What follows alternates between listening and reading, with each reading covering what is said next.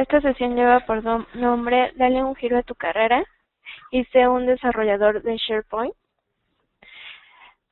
La sesión está a cargo de Aaron González. Él es consultor, arquitecto, desarrollador e instructor independiente de software en México, especializado en tecnología de Microsoft desde 1997.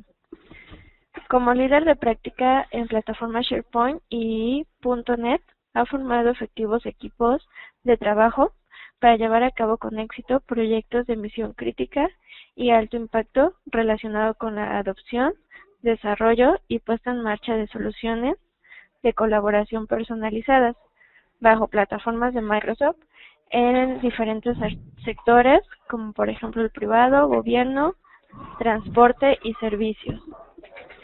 Sin más, le cedo la palabra a Aarón. Les recuerdo, es muy importante que escriban sus preguntas dentro de la sección de preguntas y respuestas y al final de la sesión van a ser contestadas. Muchas gracias, Ana Karen. Muchas gracias, Ana Karen, y buenas tardes a todas las personas que se han unido a la sesión. Ya me presentaron, vamos a platicar el día de hoy sobre qué aspectos son importantes de conocer si pensamos o nos vamos a, a, nutrir nuestra carrera con este tipo de, de plataformas, con una nueva tecnología. Eh, la finalidad de esta sesión es que conozcan, puedan experimentar y ver algunos de los aspectos más generales de programación en SharePoint, de tal forma que les permitan a ustedes y conocer lo necesario para poder y dirigir su carrera hacia, hacia desarrollador SharePoint. ¿Y por qué? ¿Por hace desarrollador SharePoint? Bueno, la razón es que hay mucha demanda actualmente de desarrolladores SharePoint y de arquitectos y gente de infraestructura SharePoint. Eh, es un producto que ha sido muy, pero muy adoptado en los últimos años, por lo tanto ha tenido un auge en la industria de recursos capacitados para poder hacer frente a las necesidades. Entonces, hoy más que nunca se requieren recursos SharePoint, tanto para desarrollo como para infraestructura, y esta conferencia o esta sesión es un esfuerzo para, para hacerlo notar y para dar un pequeño avance en ese sentido. ¿Quién está interesado en SharePoint? Por aquí puede empezar, esa es la intención. Entonces, eh, la audiencia para la que va a generar esta sesión es para desarrolladores.net y personas que están interesadas, que han escuchado, ¿ok? Que existe esta cosa llamada SharePoint. Entonces, pues vamos a entrar desde una, breve introducción al producto y luego vamos a ir adelantando a aspectos mucho más específicos. Entonces, ¿qué es SharePoint? Es la primera pregunta que mis clientes y mis amigos y algunos compañeros, colegas me preguntan. Y la respuesta que yo doy siempre es que es una plataforma para hacer frente con éxito a las necesidades web internas, externas y públicas que una empresa puede tener. La definición oficial de SharePoint es que es una plataforma de colaboración de negocio para la empresa y la web.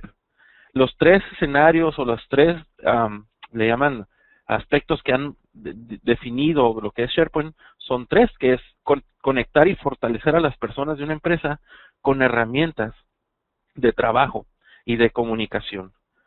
Reducir costos y unificar la infraestructura es otra de las iniciativas que está detrás de SharePoint.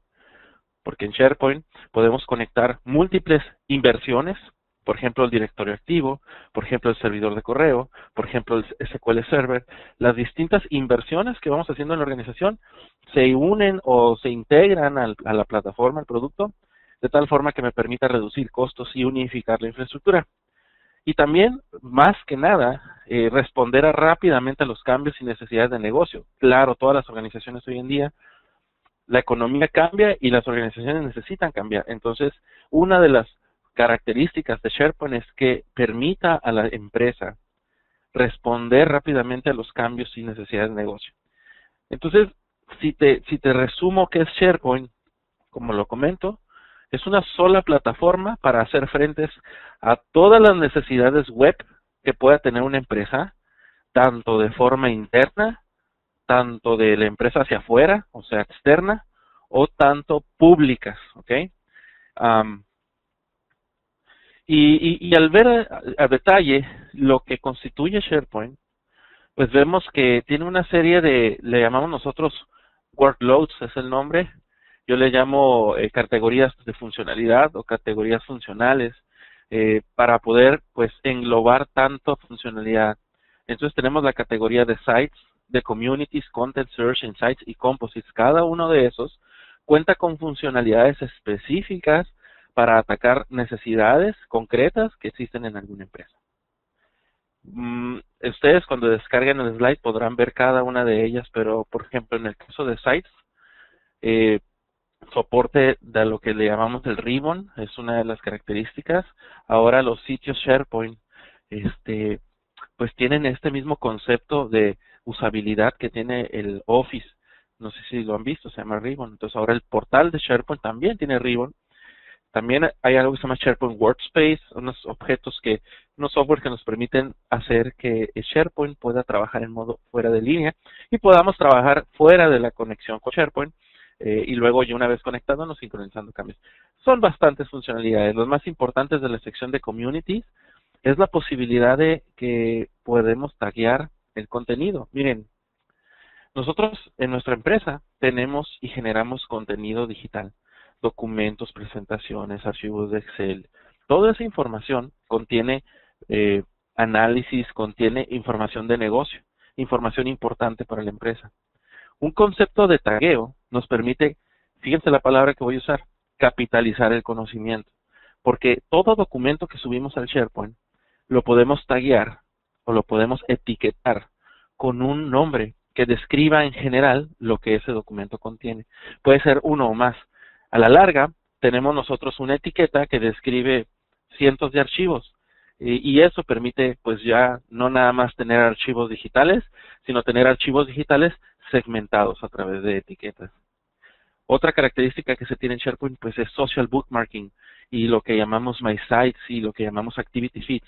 Todo lo que es una propuesta de ahora sí que red social, pero corporativa dentro del producto. Entonces, no lo vamos a ver en la sesión, pero sí es importante que sepan que si llegaran a requerir ustedes montar su, su, su propia red social interna corporativa, SharePoint ya viene con funcionalidades al respecto. Otro aspecto contenido tan importante que es controlar las versiones de los documentos, eh, generar metadatos para esos documentos, definir las estructuras en cómo estos documentos se van a estar jerarquizando o acomodando, multidioma, etcétera. Eh, búsquedas. Búsquedas es otro concepto en SharePoint. La mayoría de las organizaciones hoy en día necesita ofrecer a sus empleados portales de búsqueda para encontrar contenido. Es más, si tú lo primero que abres en un navegador en casa es tu, tu buscador. Entonces, hoy más que nunca estamos llevando a la, empresa las búsquedas como una principal herramienta para encontrar contenido. Y en ese sentido, en SharePoint tenemos el motor de búsquedas que es independiente de a dónde busca. O sea, busca tanto en SharePoint como en Internet, como en una base de datos o en cualquier otra fuente de datos. Y adicional, relaciona la información que encuentra con lo que llamamos paneles de refinamiento o de relevancia, de tal forma que podemos segmentar los resultados de las búsquedas. Otras necesidades que tenemos en las empresas son pues las de inteligencia de negocio o business intelligence. Entonces, en la categoría de insights tenemos funcionalidades para habilitar inteligencia de negocio en la empresa. Y por último, composites, que vendrían siendo artefactos para construir soluciones que, por ejemplo, pues que permitan a la organización automatizar un proceso. Entre ellas están workflows, formularios, conexiones a fuentes de datos externas llamado Business Connectivity Services, etcétera, etcétera. Entonces, SharePoint es una gran cosa, es un conjunto de funcionalidades específicas para escenarios concretos en una organización. Ahora, ¿quién usa SharePoint? ¿Por qué? ¿Y quién usa SharePoint? Bueno, SharePoint lo utilizan corporativos y empresas de todos los tamaños para ofrecer alternativas que faciliten la colaboración entre empleados principalmente. Lo que pasa es que SharePoint utiliza el concepto de un sitio web o de un sitio como el mecanismo para permitir a dos personas acceder a la información. Hoy en las organizaciones pues hay carpetas públicas en la red o se mandan correos a través del Outlook para compartir información. SharePoint, entre sus características de colaboración, ofrece posibilidades para que esas personas que antes se mandan correos electrónicos mejor suban ese contenido a un sitio SharePoint y ambos accedan a ese sitio SharePoint como su principal fuente de, repositorio de, de información.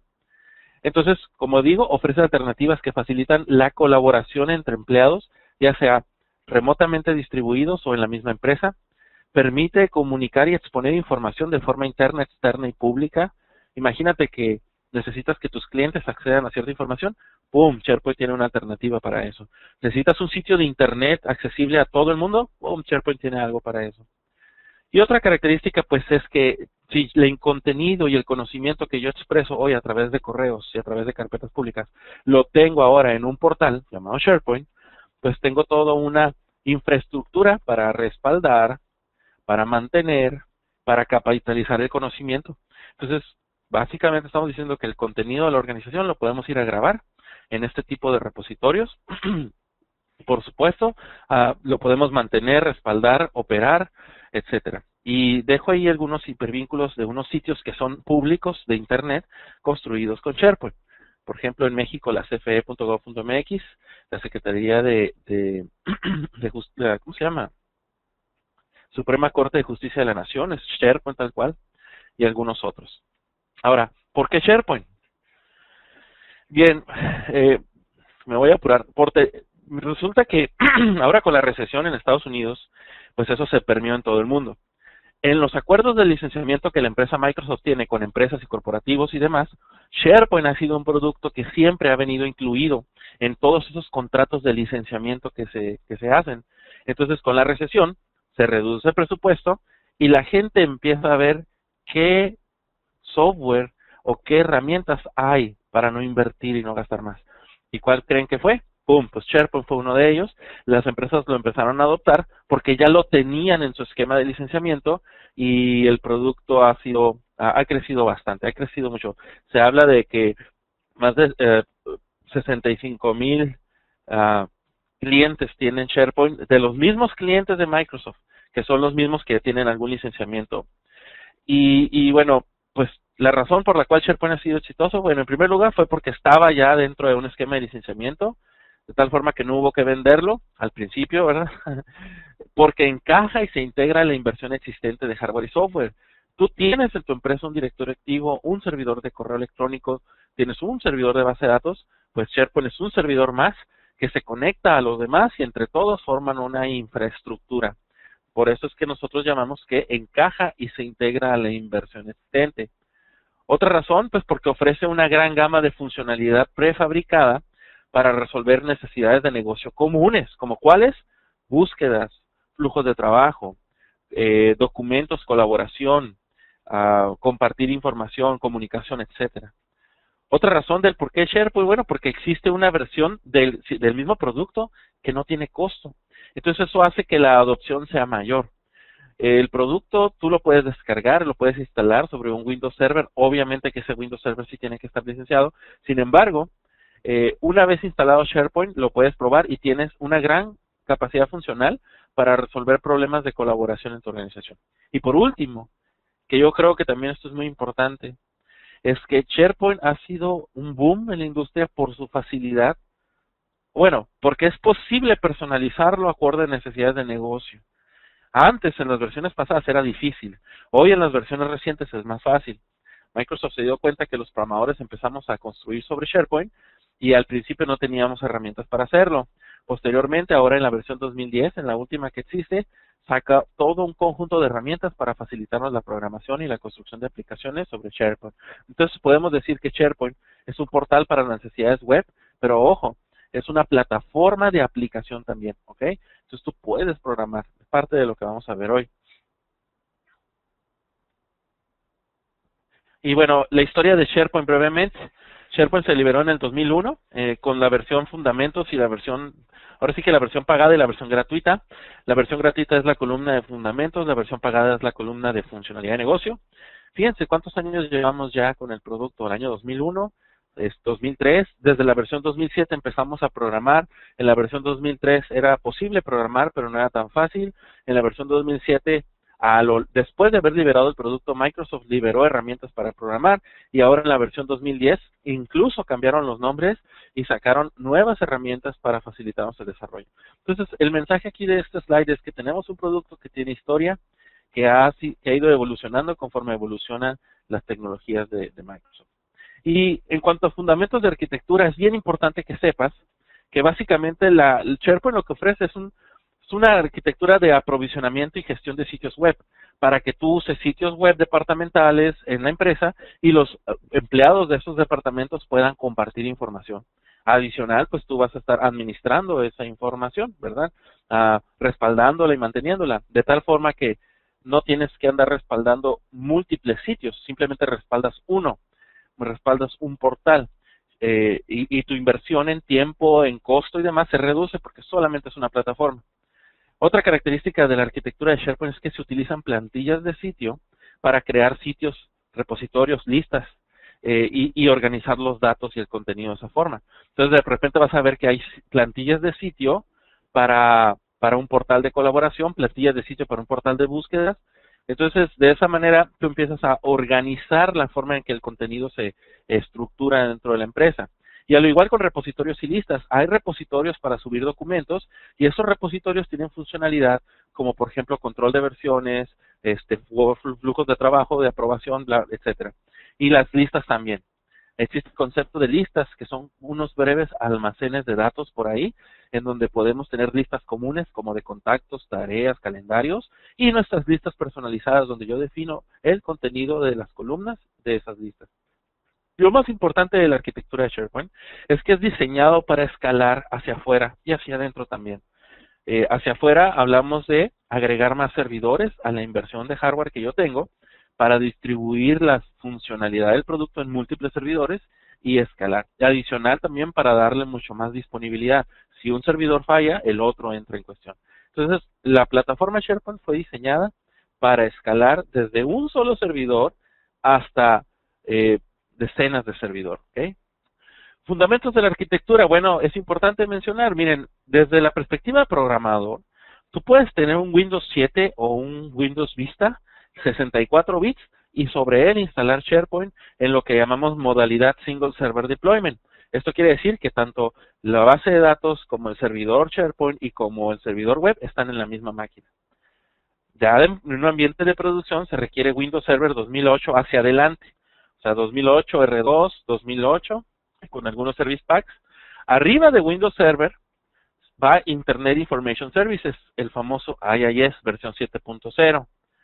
Arriba de IIS, ¿quién cree que llega? Llega el .NET Framework y ASP.NET 3.5 con el Service Pack 1. Entonces, si tú eres un programador .NET, esto te debe de sonar familiar, ¿ok? ¿Por qué? porque eh, puedes programar componentes SPNet, puedes programar código.net para personalizar el producto, porque está basado en la plataforma Microsoft.NET Framework. De tal forma que, pues, todos esos años de experiencia que hemos ido recolectando con el tiempo son útiles aquí en, en, SharePoint. Por eso es que podemos cambiar de carrera.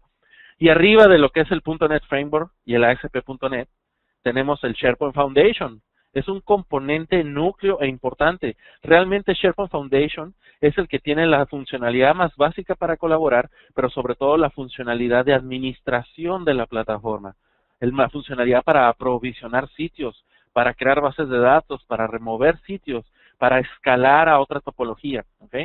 Y arriba de SharePoint Foundation tenemos a SharePoint Server 2010, el cual simplemente agrega funcionalidades a toda la pila funcional para resolver necesidades específicas.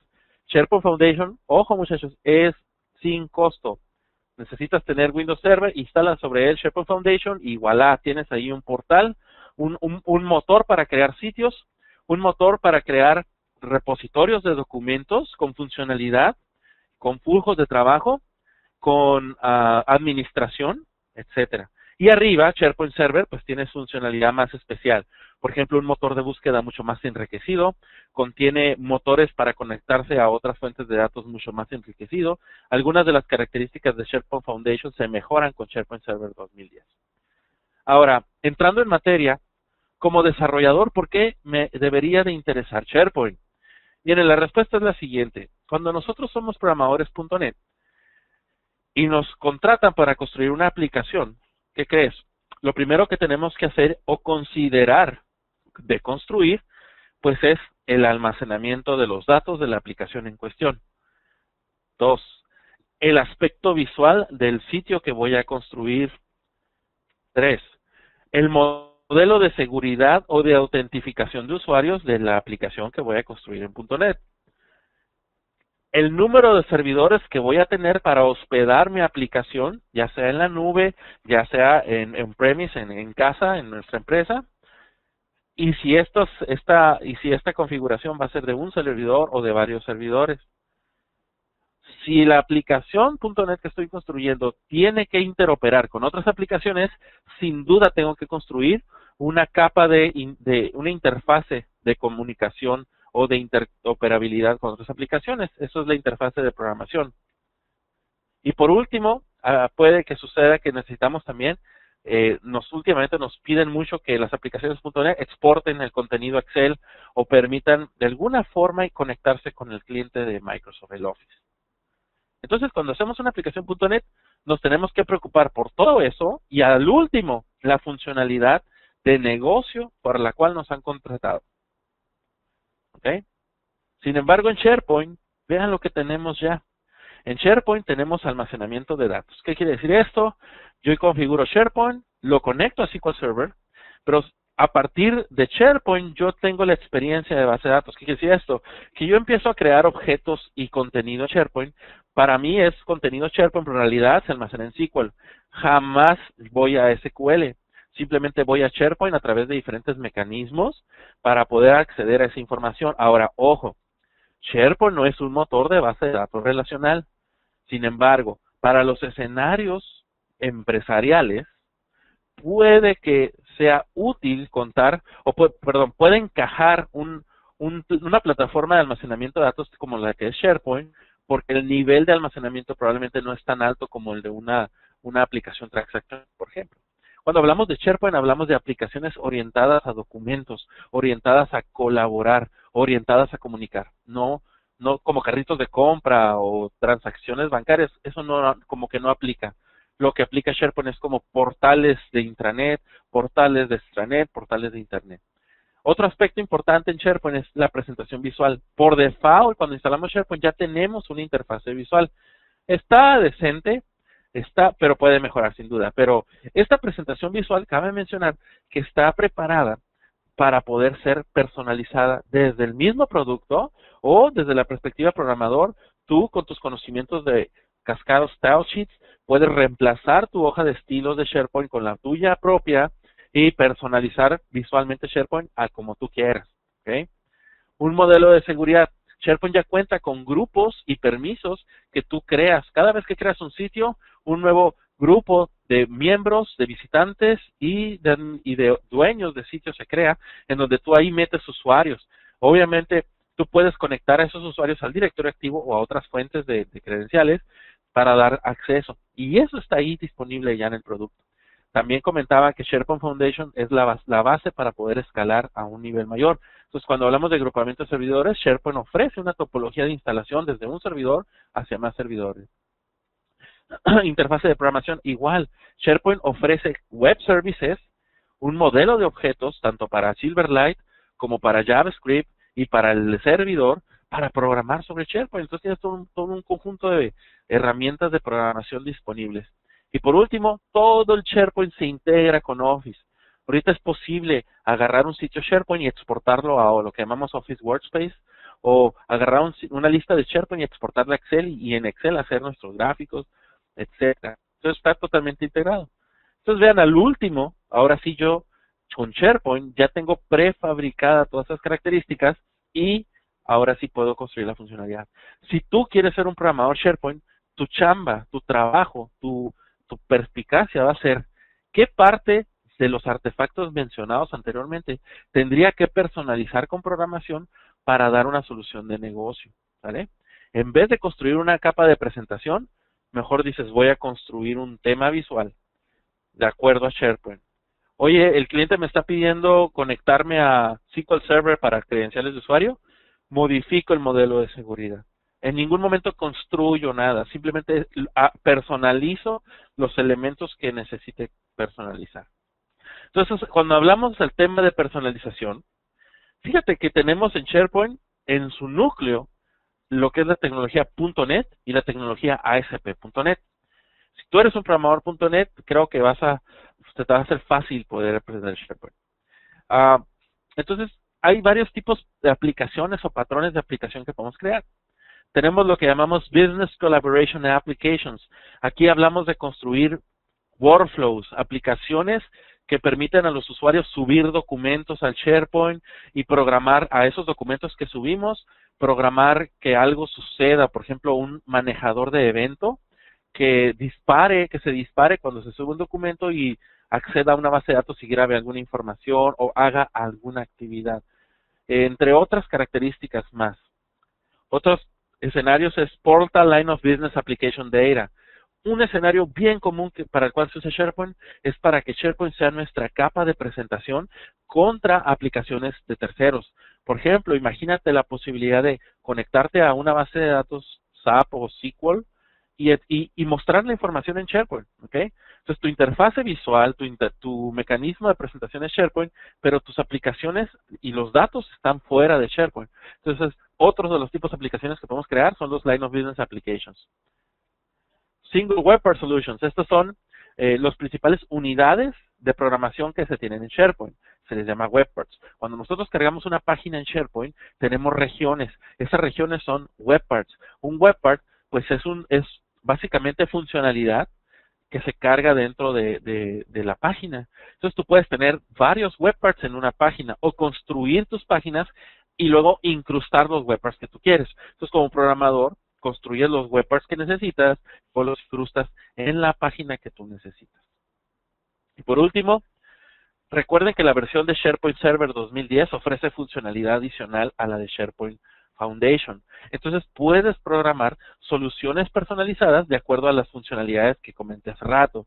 Por ejemplo, podrías coprogramar un, un motor de búsqueda, perdón, un, un filtro de búsqueda adicional que lo pegas al motor de búsquedas y permita buscar información en alguna otra fuente que no esté soportada en el producto, por ejemplo. Y para programar, pues tenemos varias herramientas. Tenemos Visual Studio 2010.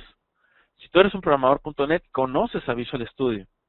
Visual Studio eh, se agregaron funcionalidades específicas para trabajar con Office y con SharePoint. Ya se había dejado ver en la versión 2008 herramientas para programar, pero ahora en la versión 2010 las herramientas para programar son nativas en el producto.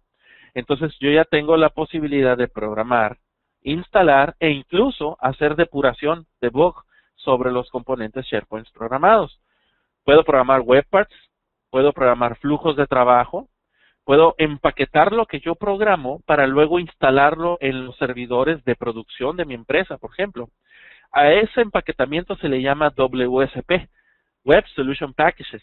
Estos paquetes contienen la lógica, los DLLs y las páginas que tú programas para que de forma ordenada y segura puedan ser aprovisionados en los servidores que constituyen la granja SharePoint. Si te comento que SharePoint puede escalar y yo tengo más de cuatro web frontends balanceados, si programo algo, debería de ser capaz de que esos cuatro web frontends tengan lo que programé. Entonces, los Web Solution Packages, los WSP Files, contienen la funcionalidad para autoaprovisionar en todos los servidores de mi granja de manera segura todo aquello que yo programo. Otra característica importante que tenemos en SharePoint 2010, pues es, en Visual Studio 2010, es que hay una integración entre lo que es SharePoint ah, y lo que es Visual Studio a través de lo que llamamos Server Explorer. Entonces, en el Server Explorer ya hay una opción para conectarnos a SharePoint. Y también hay integración con Team Foundation Server, de tal forma que puedas llevar un control de lo que llamamos Application Lifecycle Management ah, del código que tú haces. Otras características adicionales está lo que es soporte para Sandbox. En SharePoint 2010 Sandbox es la posibilidad de que tú crees programas que no van a afectar lo que es el proceso de SharePoint como tal. También se pueden importar de otro programa que más adelante explicaré llamado SharePoint Designer, WSPs, para que a partir de ahí los pueda programar. Puedo construir workflows, extensibilidad, etcétera. Entonces vamos a empezar con una primera demostración este, espero que eh, llevamos la primera media hora. Fíjense qué rápido pasa el tiempo. Y lo primero que voy a hacer es cargar un portal SharePoint. Mm, digo, obviamente este es un portal de prueba, estoy presentando información de prueba. Fíjense que en este portal tengo tres departamentos, por ejemplo, operaciones, recursos y ventas. Y, por ejemplo, si, si me voy al departamento de ventas, pues ahí ya tengo información general del departamento, algunos procedimientos que quiera que la gente acceda y demás. Lo importante mencionar aquí es que tenemos aquí un hipervínculo llamado Sales Teamsite. El Teamsite vendría siendo el portal para que el área de ventas pueda colaborar. ¿Ok? Entonces aquí tengo un sitio SharePoint, lo que llamamos un team site, en donde tengo pues algunos elementos de SharePoint, ¿verdad? Eh, está eh, Welcome to Sales y demás. Adicional les comentaba que en SharePoint tenemos muchas cosas para, para crear. Fíjense bien. Tenemos lo que llamamos librerías, listas, páginas y sitios. Wow. Entonces tú puedes crear sitios y subsitios y tenemos plantillas de sitios disponibles para que tú construyas lo que necesites. Interesante. Vamos a empezar por listas. Miren, aquí tengo una lista de assets en donde puedo subir imágenes y videos. Pues tengo Document Libraries, que es un repositorio para subir documentos. Form Libraries, Picture Libraries, etcétera. Hay un montón de alternativas. En el caso de listas, Fíjense que hay lista de anuncios, de calendario, de contactos. Interesante porque esta lista de contactos es similar a la lista de contactos que tenemos en Outlook. Entonces lo que yo creo en SharePoint lo puedo exportar al Outlook y termino usando Outlook como interfaz de usuario y todo sincronizándose a SharePoint. Tengo el Custom List. El Custom List es una lista personalizada, básicamente como una tabla de SQL, pero no, no, no, no, no. Realmente no es una tabla de SQL, ¿ok? Es una lista de SharePoint en donde yo puedo almacenar datos ahí eh, y yo puedo definir qué columnas y qué tipo de campos va a tener, ¿ok? Eh, mucha gente, ha existido mucha confusión si estas son como tablas, en realidad no son tablas, realmente internamente la base de datos hay una sola tabla para el contenido de estas listas, pero eh, básicamente el escenario es el mismo, nos sirve para almacenar datos, es la unidad mínima de almacenamiento. También podemos crear diferentes tipos de página y diferentes tipos de sitio, pero como estamos aquí en un tema de programación, fíjense bien, yo aquí tengo una tengo una lista llamada leads en donde tengo title, company y opportunity level. Son tres columnas dentro de esta lista. Eh, y lo que vamos a hacer es rápidamente pues conocer cómo se programa en SharePoint, ¿ok? Lo primero que vamos a hacer es, este, voy a copiarme la URL del sitio que me gustaría personalizar y vamos a cargar a Visual Studio 2010. Cabe mencionar que tú puedes tener en tu Windows 7 64 bits o Windows Vista 64 bits, puedes instalar SharePoint. Los requerimientos mínimos de memoria RAM que necesitas son 4 GB de memoria RAM y por lo menos yo creo que ahí sí es mi dato, unos 80 GB de disco duro para instalarte SharePoint, Visual Studio y todos los updates que hay y puedas programar esto. Fíjate, este es Visual Studio. Lo primero que es importante conocer es que tenemos por aquí el Server Explorer y fíjate que en el Server Explorer hay un nuevo icono llamado SharePoint Insight a SharePoint Connection, si lo expandes, pues puedes tener aquí conexiones a otros sitios SharePoint y visualizar desde el mismo Visual Studio, visualizar algunos, a lo mejor artefactos o elementos que existen dentro de los sitios SharePoint. Mira, si yo expando mi sitio de sales, tengo mi SharePoint Insight y luego tengo mis listas y dentro de mis listas vas a encontrar que tenemos mi lista de leads y cuando expando esa lista de leads tengo las columnas que hay en ella eh, y dentro de ella pues tengo las columnas de title, opportunity level y demás. Aquí están las páginas que contiene esta lista, etcétera. También cuando nosotros creamos un nuevo proyecto en Visual Studio 2010, fíjate que tenemos aquí la característica de SharePoint. Tenemos toda una plantilla para crear proyectos SharePoint. Y fíjate lo que podemos crear. Podemos crear empty SharePoint projects. Estos son archivos WSP donde va adentro puedo meter más de unos objetos diferentes. Web parts, sequential workflows, business data connectivity, recibidores de eventos, definiciones de lista, realmente son bastantes opciones disponibles. De momento voy a crear un Visual Web Part y se va a llamar SG Virtual Web Part Sales Web Part. Lo voy a crear y fíjate que en este caso para los Web Parts nos da dos alternativas de instalación. Lo que pasa es que lo que nosotros programemos aquí después se va a instalar en SharePoint, ya sea en nuestro servidor de desarrollo o en nuestros servidores de producción. Y como puedes ver, hay dos alternativas. Está la de Deploy as a Sandbox y Deploy as Farm. Un Visual Web Part solamente se puede implementar como una solución Farm. Eh, hay otros objetos que se pueden implementar como Sandbox, pero eso lo vemos en otra ocasión porque es otro tema. Y, bueno, vamos a, construir el componente. Es para, hasta el momento, si eres un programador.net, fíjate que la experiencia es sumamente sencilla para ti. Realmente esto no representa nada diferente a lo que tú conoces. Lo que sí es diferente, pues es que hay que conocer todos esos artefactos que podemos agregar, ¿verdad? Entonces ahí sí te pediría que tuvieras cuidado con eso. Eh, fíjate, este Visual Web Part realmente es una opción pues que nos ofrece una experiencia tipo ASP.NET. Puedo arrastrar y soltar controles y puedo dar doble clic sobre los objetos y generar un manejador de eventos, ¿ok? Es realmente, realmente sencillo. Este, vamos a esperar a que cargue un poquito en mi Visual Studio que se pone lento, porque pues desafortunadamente sí, hay que tener un poco de, de recursos para que esto funcione. Listo, voy a ponerle aquí la opción de Split View y fíjate, acá voy a agregar este text boxes rápidamente, voy a agregar tres text boxes y un botón, ¿verdad? Nada tan complicado como esto, ¿verdad? Un botón y por último un label, claro que sí. Eh, y voy a dar doble clic sobre el botón, se genera un manejador de evento, fíjate, y eso tú estás acostumbrado. Comentaba que SharePoint ofrece un modelo de objetos, fíjate nada más aquí arriba.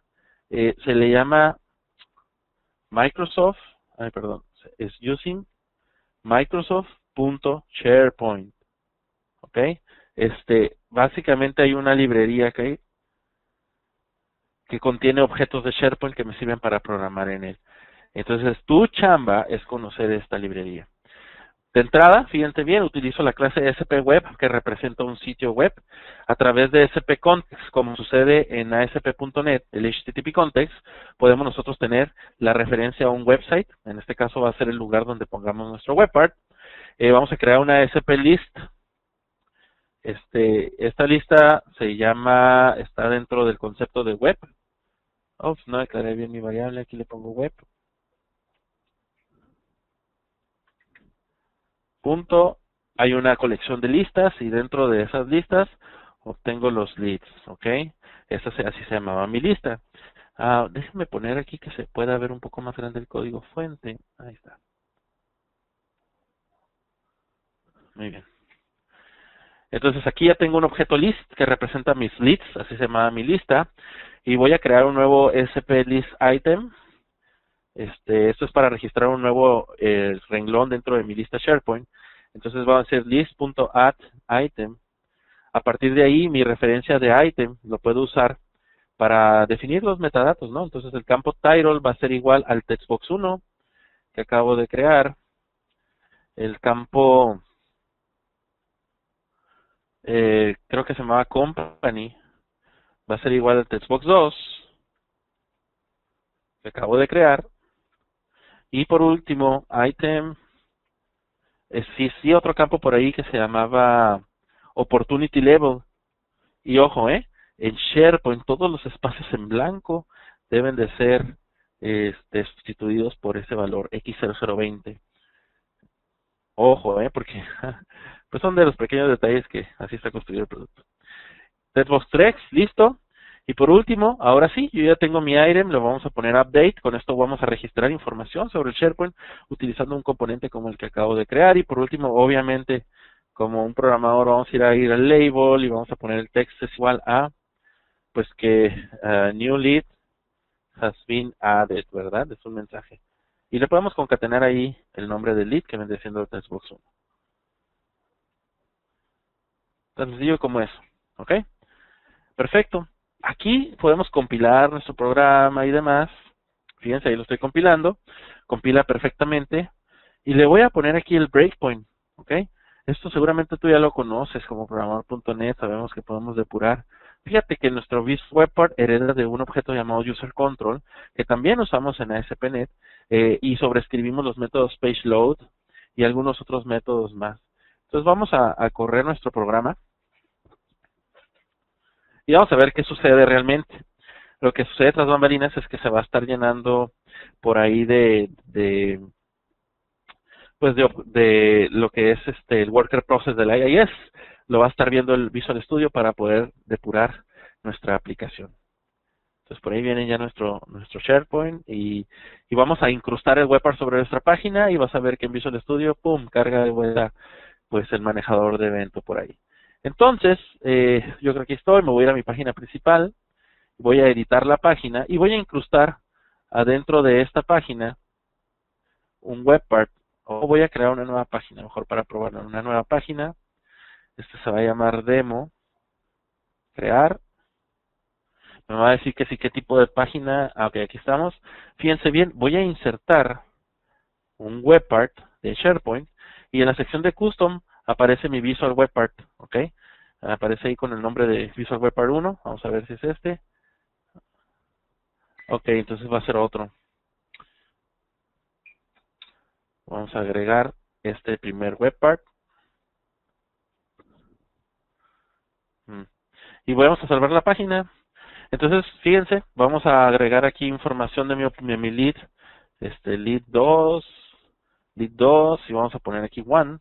Le vamos a dar clic al botón y fíjense cómo Visual Studio llega al compilador para nosotros probar. Obviamente que aquí tengo el Visual Studio instalado dentro del mismo servidor SharePoint, ¿verdad? Cuando lo tenemos en diferentes contextos no se podría hacer esta funcionalidad. Si me regreso a mi lista de leads, pues vamos a encontrar que mi lead 2 ha sido registrado en SharePoint de manera automática utilizando programación.net. Y ya para finalizar esta primera demostración, pues fíjate lo que puedes hacer dentro de este objeto podemos nosotros agregar múltiples cosas de SharePoint y tu chamba es aprenderte estas cosas que podemos agregar. Podemos agregar web parts, workflows, lo que es business connectivity, aplicaciones, páginas, recibidores de evento, tipos de contenido, múltiples objetos de SharePoint.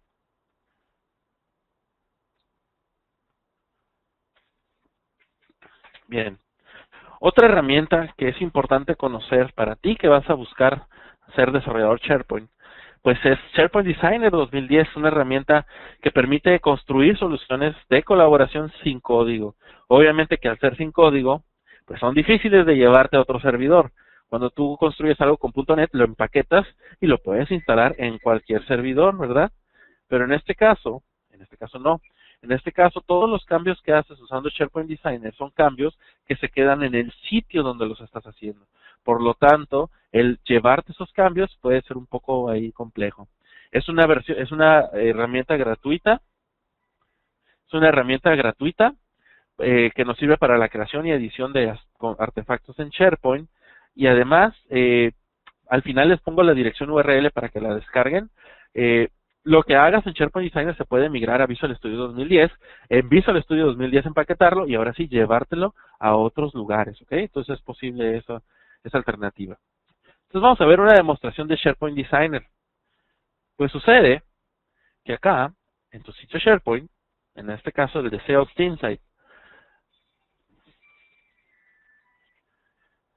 eh, puedes tú editar en SharePoint Designer, ahí está la opción, ¿ok? Con esto, al darle clic, se va a abrir SharePoint Designer. Ojo, cabe mencionar que debe ser SharePoint Designer 32 bits. Si le pones el de 64 bits, no lo va a reconocer, ¿ok? Sí puedes abrir por separado SharePoint Designer y abrir un sitio este, con SharePoint Designer 64 bits, pero el SharePoint Designer 32 bits hace automáticamente esto. Entonces, fíjate que aquí tengo el mismo sitio de, de el mismo sitio de, de, de ventas y tengo, fíjate, los grupos, los permisos, puedo yo como programador o, profesional de SharePoint estar administrando un poco los sitios, puedo editar los permisos, poner personas ahí, especificar configuraciones, crear grupos, agregar grupos, definir permisos, niveles de permiso, solicitar accesos, este, crecer el tamaño del sitio, múltiples opciones, ¿ok? Eh, las importantes siguientes listas y librerías. Aquí puedo crear un custom list, Vamos a crear un custom list, se va a llamar este, propuestas, por ejemplo. Damos clic, se crea nuestra lista de propuestas. ¿Dónde quedó? Al darle doble clic a nuestra lista de propuestas, vean que tengo esta opción para editar. Esta es mi lista de propuestas. Y puedo editar las columnas que tiene esta lista de propuestas y agregar más. Entonces digo, ah, mira, en esta lista de propuestas voy a tener el título, voy a tener el tipo de propuesta, por ejemplo, esta es otro, otra columna que estoy creando, etcétera. Vamos a definir que propuesta 1 es la default. Este, el nombre de mi columna es, es tipo de propuesta. Y puedo agregar más columnas. ¿De acuerdo? Una que me parece interesante aquí es la de lookup information, en donde le podemos decir de qué otra lista queremos relacionar datos. Entonces yo tenía una lista de leads por ahí, ¿verdad? Entonces tráeme el lead, el campo title y adicional, tráete del lead el company y, y nada más. Eso está interesante esto porque puedo, fíjense, puedo relacionar columnas. Entonces vamos a salvar esta lista, vamos a regresar a nuestro sitio SharePoint, damos F5 y fíjate que ahí ya tenemos nuestra lista de propuestas. SharePoint de manera automática nos crea la ventana de altas, bajas, cambios sobre la lista. Cuando agrego un nuevo elemento, pues puedo ponerle aquí propuesta 1, propuesta 1 y el lead que tenemos registrado, en este caso el lead 2, damos salvar y queda ahí nuestro, nuestro registro capturado. Interesante, porque puedo usar SharePoint Designer para esa alternativa. Ahora, otra característica que el SharePoint Designer se tiene es la del uso de workflows, eh, que realmente es lo más eh, relevante que tiene el producto, en donde podemos crear flujos de trabajo que, automatizan algún proceso. Otra característica que yo sí quiero mostrar el día de hoy, y que quede grabada en estos últimos 15 minutos que ya casi tenemos que terminar, pues es los External Content Types. Esta es una alternativa para interoperar con otros sistemas. Vamos a crear un External Content Type para conectarnos a SQL Server y traer datos y permitir que SharePoint sea la interfase visual de esos datos. Entonces vamos a llamarle a este, este SG virtual demo. Así se va a llamar mi conexión. Le vamos a decir que esta lista va a ser de tipo genérico y nos vamos a conectar a una base de datos o a un componente .NET o a un web service de Windows Communication Foundation. Si eres programador.net sabes qué es esto. Entonces mi servidor se llama SG Virtual, mi base de datos se llama SG Virtual eh, BCS Demo, así se llama. Damos OK y fíjense que va y lee el esquema de base de datos. Cabe mencionar que al ser web service un intermediario, pues puede ser cualquier otra base de datos, ¿verdad? Y aquí tengo una tabla llamada Opportunity. Al darle botón derecho le voy a decir que SharePoint Designer me crea las páginas para dar de alta, para leer, para mostrar, para eliminar y para actualizar. ¿okay? Él automáticamente lee cuáles son las llaves, cuáles son los campos si pudiéramos nosotros mapear estos campos a datos que existen en las listas de contactos, también lo podríamos hacer. Vamos a dar Next y Finish. Y fíjense lo que creó. Me creó un componente importante aquí. Este, eh, pues para poder trabajar. Eh, también cabe mencionar que a nivel de administración hay que hacer algo de ahorita. Y, bueno, una vez que creo el conector hacia la fuente de datos externa, ahora sí puedo crear un, lo que llamamos una lista. Pero esta lista va a ser una lista externa que proviene de la conexión externa que hicimos. Entonces vamos a crear una lista que se va a llamar oportunidades, así en español. Damos OK, pero en realidad lo que va a suceder es que SharePoint va a ser un intermediario entre la fuente de datos final y lo que es eh, la interfase visual. Entonces ahí ya quedó la lista de oportunidades. Cabe mencionar que necesito entrar a lo que llamamos aplicaciones de servicio, de lo que es el servicio de Business Connectivity Services para darle permisos de, uso a este objeto que se acaba de registrar. Eh, all Authenticated Users son los que pueden usar este objeto. Vamos a agregar. Ah, no, no, no. All Authenticated Users, objeto, agregar. Vamos a decir cuáles son las operaciones que puede realizar el objeto y listo, fíjense lo que va a suceder. Cuando nosotros nos vamos aquí a las propuestas, a la lista de oportunidades, aquí está. SharePoint es un intermediario con la fuente de datos externa. Miren, algo pasó, no se pudo autentificar. A ver.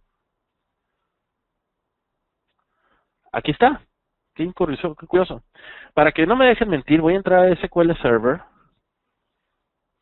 y voy a, hacer un query hacia esta tabla de la base de datos este BCS demo, aquí está, tables, new query. Entonces vamos a decir BCS demo, select, asterisco from, opportunity, execute. Y fíjense, aquí hay dos registros. Entonces vamos a agregar un nuevo registro aquí en la sección de items, decimos new item. Vamos a ponerle aquí detalle 1, detalle 2. Vamos a salvar. Se graba en SharePoint, o sea, hacemos el proceso en SharePoint, pero en realidad en SQL Server está el registro. Entonces podemos construir aplicaciones intermediarias entre lo que es SharePoint y lo que es aplicaciones de terceros. Bueno, con eso terminamos y lo que es la demo, vamos a entrar casi casi a las opciones de respuesta. ¿Qué, qué necesito para ser desarrollador SharePoint? Bueno, agallas para enfrentar a vendedores y consultores que buscan posicionar o como dé lugar una cuota de venta. Nosotros como programadores debemos ser capaces de decir que sí, que no se puede hacer en SharePoint, independientemente de lo que represente eh, económicamente eso. Saber decir no y ser claros con los pros y contras de las posturas técnicas que tomamos las decisiones. Haber sido desarrollador.net y ACPNet es otra característica para poder ser desarrollador SharePoint quitarte la idea de que con SharePoint todo se puede a la primera, ¿no? También le batallamos un poco por ahí. También es importante que imagines cuál va a ser la experiencia del usuario final. Recuerda que tu chamba es personalizar el producto, no construir todo otra vez.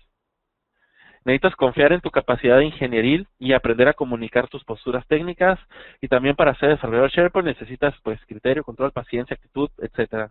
Ahí puse un hipervínculo. También unos aspectos importantes a considerar cuando somos desarrolladores SharePoint. Las listas de SharePoint no son tablas de SQL. Atención. No te inventes problemas que demuestren tu superioridad ingeniería. Eso ya es muy personal. Piensa en el usuario y en la experiencia de uso del usuario. También existe el cliente de Office para programar aplicaciones. ¿eh? O sea, puedes usar Excel para programar una aplicación. Eh, conoce las funcionalidades prefabricadas en el producto. Eso es importante. Y voy a dejar hasta aquí para que podamos empezar con la sección de preguntas y respuestas.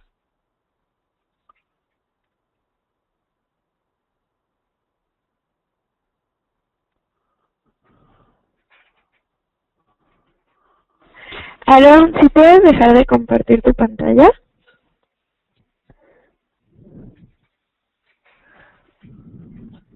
Por favor.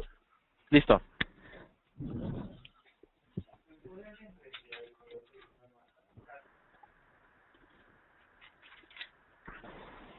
¿Ya lo dejaste de compartir? Sí, fíjate, pero está un poquito lento aquí. Ah, ok. Muy bien. Eh, vamos a comenzar con las preguntas. Eh, ¿Sí puedes visualizar bien todas las preguntas, Aaron? Fíjate que no, está un poco lento la interfase, pero si las gusta leer, bienvenido. Ok.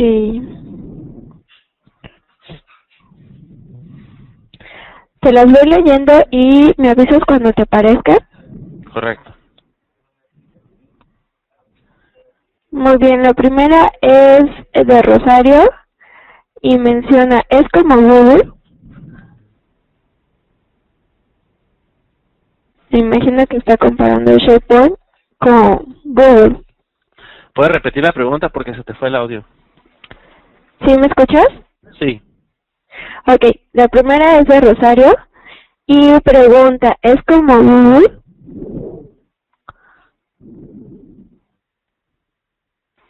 ¿Sí me escuchas ahora? Sí. Es común que es que no te lo... A, a ver, vamos a ver. Como el buscador de Google. Ah, ok. Bueno, sí. En SharePoint tenemos un motor de búsquedas, ok, integrado en el producto, que te permite buscar en diferentes fuentes, entre ellas SharePoint y algunas otras.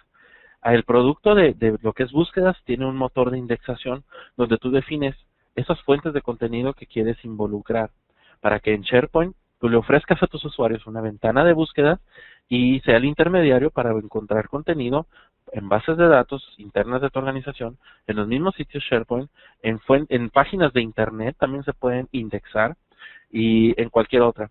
Ahora, existe posibilidad de crear lo que llamamos búsquedas federadas, hacerla, o sea, permitir que SharePoint busque en tus sitios, pero también busque en Google y te retorne resultados de live, resultados de diferentes fuentes o, o, ¿cómo le llamamos? Buscadores. Ok, la siguiente es del 2007 al 2010. ¿Cuáles han sido las novedades principales? Bien, el core sigue siendo el mismo, básicamente, pero se han agregado nuevas características de funcionalidad en el producto. Pues las principales son en cuanto al desempeño, sin duda, en cuanto a las capacidades de almacenamiento que se tienen, en cuanto a las herramientas de administración y sobre todo, desde la perspectiva desarrollador, ahora tenemos diferentes web services, eh, objetos y modelos, lo que llamamos APIs, por ejemplo, a mí personalmente me, encantó la idea de que en SharePoint 2010 se agregó una interfase REST, de tal forma que todos los sitios SharePoint tú los puedes invocar utilizando lo que llamamos RESTful Services, usando un, unas rutas de navegador, unas URLs de, de tipo REST. Entonces el contenido lo puedo acceder utilizando REST, esa es una de las principales, pero ha habido muchas también a nivel programación, ha habido nuevas características. Business Connectivity Services, que fue una de las que pude demostrar, es algo que es increíble porque puedo tener una fuente de datos externa y usar SharePoint como mi capa de presentación para altas, bajas, cambios y consultas. Otra es de Jorge, ¿qué tan compatible es MOSS 07 a 10? Es completamente compatible, ya que he leído en algunas páginas que migrar de MOSS 03 a 07 era complicado. No, no existe MOSS, MOS 2003 no existe. Existe MOS 2007 a 2010. En cuanto a MOS 2007 a 2010, hay diferentes rutas de migración. Sí hay posibilidades de migrar. Es completamente posible, factible y hay diferentes escenarios para migrar. Lo que no hay es escenario de migración de SharePoint 2003 a 2010 forzosamente tenemos que migrar de SharePoint 2003 a 2007 y de 2007 a 2010. Ok, otra pregunta es, ¿existe alguna forma de generar alguna tarea programada para poder respaldar los Workspace en MOS S07? Sí, miren, eh, desde la perspectiva de administrador SharePoint, cuenta con diferentes comandos Ajá. Tanto para la versión 2007 como la versión 2010. Estos comandos nos permiten a nosotros realizar operaciones administrativas. Hay un comando para hacer respaldos. Mi sugerencia para poder hacer respaldos periódicos es que mejor construyamos un script, un archivo .bat, por ejemplo, que invoque estos comandos y dentro del servidor Windows crear una task, una tarea, y ahí definir cada cuánto se va a estar ejecutando. Esa es una alternativa que no requiere ni programación y que no requiere nada. Ahora, si quieres tú tener un control más detallado de eso, lo que podrías hacer es crear un, lo que llamamos un job de SharePoint eh, programado para poder eh, calendarizar el proceso de, de respaldos. Ok, otra pregunta es, ¿en dónde podemos bajar el software o alguna liga de algún manual? Eh, en, el, en la slide que puse al final de mi PowerPoint, se llama recursos, vienen tres hipervínculos. En uno está lo que es una guía total de SharePoint, es un, es un enlace que va hacia un blog en donde se encuentran muchos hipervínculos de todas las tecnologías SharePoint 2010 eh, que necesitas tú conocer para aprender. También agregué el hipervínculo de SharePoint Designer, que es gratuito para que lo descarguen y agregué un par más de, hipervínculos que algunos apuntan a mi blog, algunos a otros blogs, de útiles para poder, para que ustedes se pongan a, aprender SharePoint.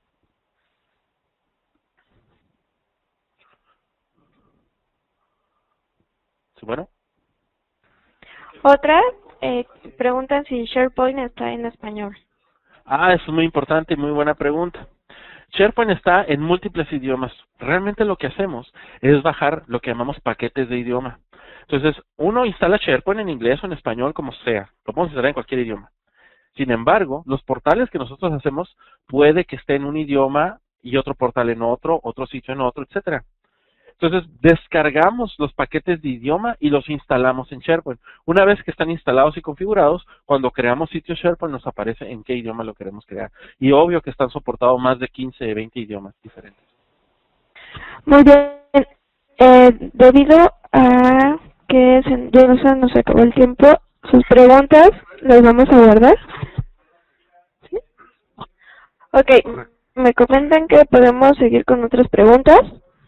Te leo otra, Adelante. Es de Edgar. ¿Qué diferencia hay entre SharePoint, WordPress y SharePoint Design?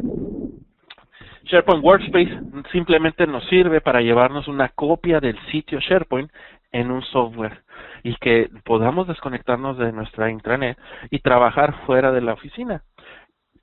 Usando SharePoint Workspace, haz de cuenta que estamos usando el SharePoint, pero sin estar conectados al SharePoint. Eh, una vez que nos regresamos a nuestra oficina y conectamos nuestra computadora a la red, SharePoint Workspace sincroniza los cambios que hicimos hacia SharePoint Server. Y el SharePoint Designer es un producto que nos sirve para personalizar el contenido, la configuración y la funcionalidad preconstruida del producto SharePoint.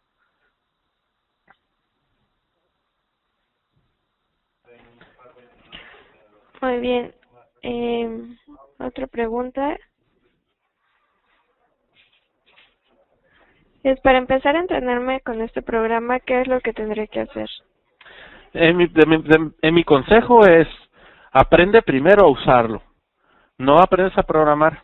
Aprende primero a conocer las funcionalidades que existen en el producto, como por ejemplo, qué es una lista, qué es un sitio, qué tipos de sitio hay, cuáles son los permisos, qué tipos de usuario hay, etcétera. Ya que conozcas las funcionalidades prefabricadas del producto, entonces aprendes a programar. Eh, me ha tocado ¿eh? participar en empresas donde se terminó construyendo algo que ya existía en el producto y la mejor parte es que lo cobraron.